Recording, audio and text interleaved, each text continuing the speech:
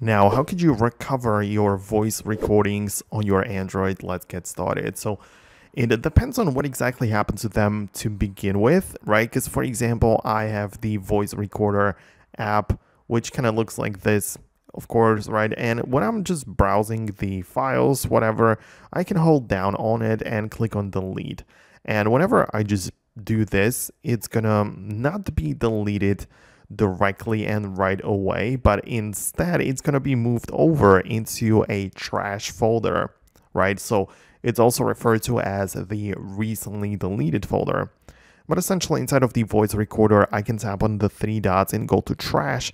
And when I go in here, you can see that I have 30 days to recover it. So of course I can hold down on it and restore it or delete it. So it is how it kind of works. Of course, I can empty the trash and remove it altogether. So if you deleted your voice recordings like this, check out the trash and make sure that you recover it before the time expires and the recording will be gone for good.